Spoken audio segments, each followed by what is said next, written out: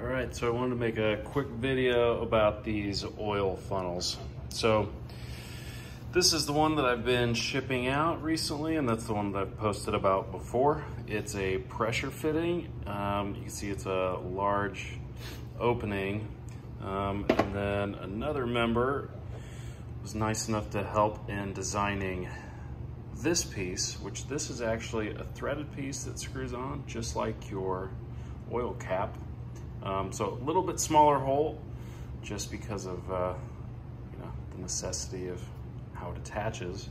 But a little bit different funnel setup, so this will hold uh, more bottles maybe. Wider bottles, it holds just a little bit more volume, but the rate might be just a little bit lower. So kind of just wanted to show these in action.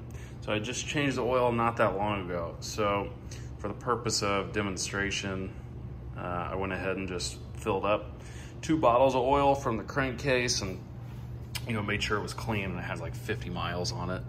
Um, so anyhow, first one we'll start with is this one, the original one that I've been shipping. That's the pressure fit. Okay, so it's in place. It's pressure fit right there. And you'll see this thing, it basically just takes oil as fast as you'll give it.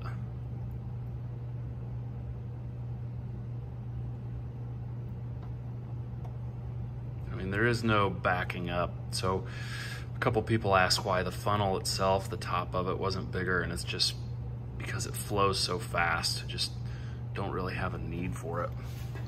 Unless there's no point in it being any bigger than it needs to be. You can look down here, there's no oil dripping out. Um, anything like that, whatever you see, the dark spots there are just shadows because the couple lights that I've turned on here. Okay, so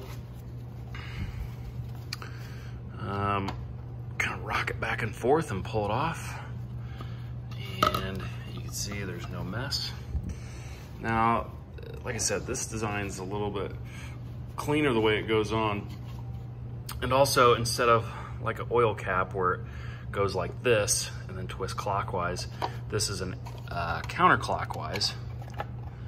So you twist it on, fits just like that. It's a perfect fit. And we'll show this one in use.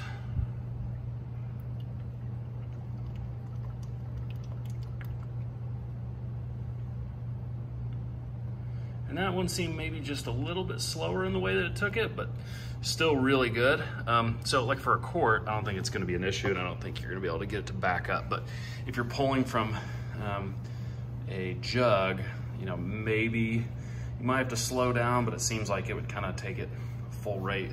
This thing is really stout. It may not look like it, but I'm pushing on that pretty heavily and it's not going anywhere.